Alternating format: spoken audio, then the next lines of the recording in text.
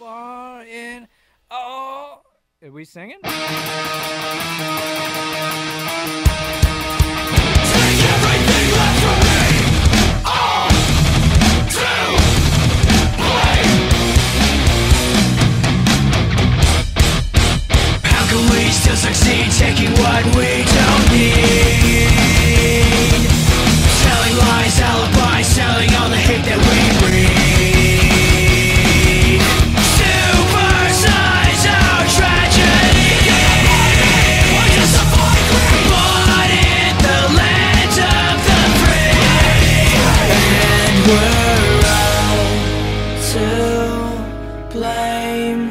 We've gone too far.